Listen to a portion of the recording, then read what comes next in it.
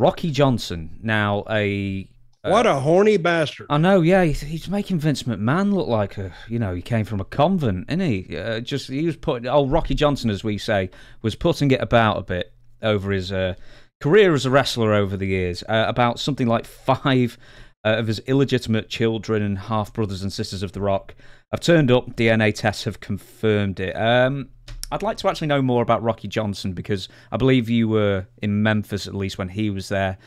Uh, yeah. During a few of his runs, uh, Rocky is a person, Rocky is a talent, uh, everything you know about him.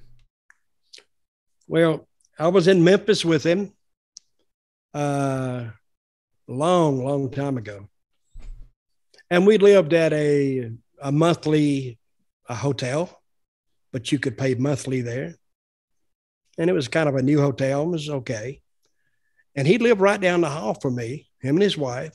And little Dewey, which is Rocky, uh, which is uh, The Rock now, he was like two years old, maybe three.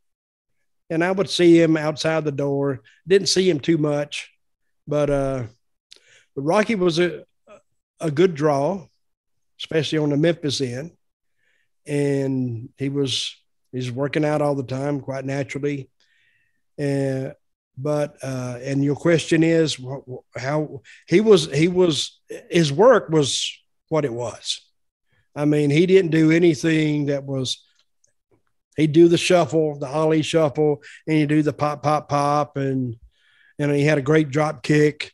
So he he at least utilized his what he had. He, he used it to to to its fullest. You know i never knew where he was from i read recently he was from like nova scotia yeah, yeah. New Brunswick. I didn't. I didn't even know that. Mm-hmm. So, but and he got to the states, and I think he was. I was in Florida with him, and I was in Memphis with him.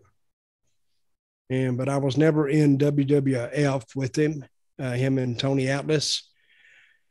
But and I never knew about. I never knew about the uh, the children, because there would be no way that I would know unless I wanted to, to ask around. But, and then I read this article and I went, damn, this guy, he just didn't have girlfriends. He had like, I mean, it, it lasted a while. Harems, it seems. A what? A harem or harem of, of girls all around the place. I, well, I call it harem. Ah. That's why we that's why we say it down south. but they were never together. See, but he would meet this woman and they would in one place. And then that would be, I guess, his his queen in in waiting. Then he would go somewhere else. He'd have another one. Then he would go somewhere else. He'd have another one. So I guess he had at least five women because he had five kids. And so do, but I, I think if you really told the truth about some wrestlers, they were several that, that like that. Definitely. Because there's no way to check it. I mean, other than going off gossip, but they all came together uh, to make this story. But you know what I thought one time? A great serial killer could have been a wrestler because he moves around all the time, especially a mask wrestler. That'd make a good story, wouldn't it? Mm, I'm trying to think who it could be. Yeah. Mil Mascaras. could have been, but you hear about all these murders they've never solved. It could have been by a wrestler. Yeah. You, you know who else are, are big time serial killers too? Truckers. Yeah. Because they're always on the move. Mm-hmm. Hey, we should be in law enforcement. We'd come in there and our whole deal is say, well, blame it on wrestling.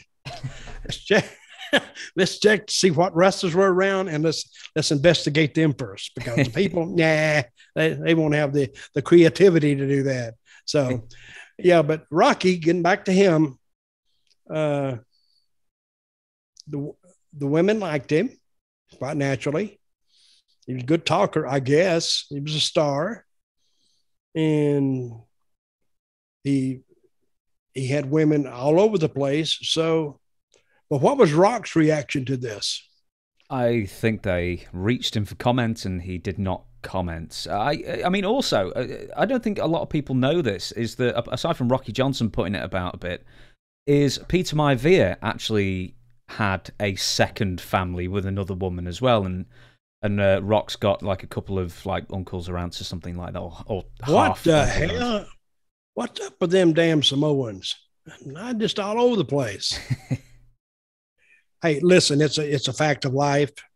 Just because he's a wrestler mm-hmm. doesn't mean he's gonna he's gonna change up. But and wrestlers, you know, they're this is why wrestlers have you know like girlfriends in different places. Back then, you could run like Memphis ran 52 weeks a year. So you was in that town at least once a week.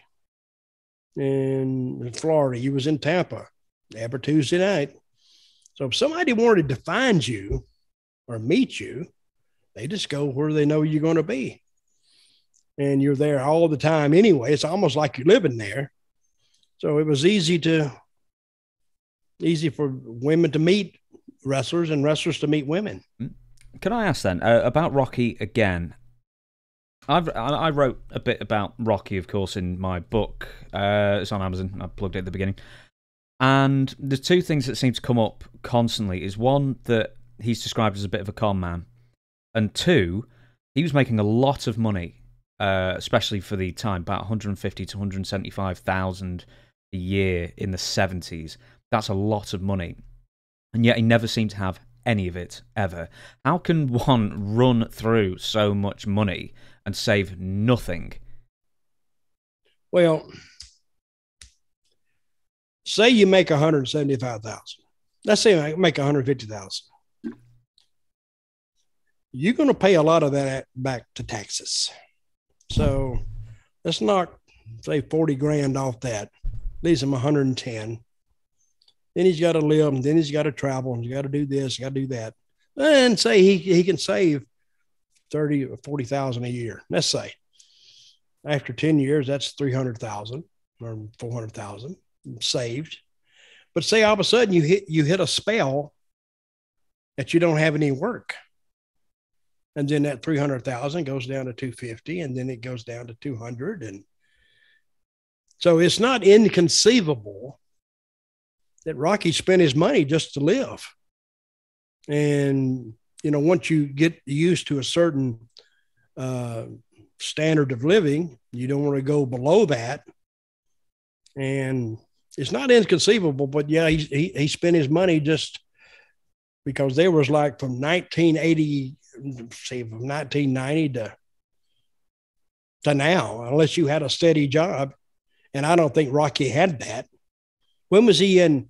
When was he in WWE with Tony Atlas? Uh, it was in the uh, 80s, right? Yeah, 82, 83, 84. That was probably his last, mo- you know, lucrative run. By the late 80s, uh, he was probably because he was in his 40s when he was having his probably best run in WWF. Mm-hmm.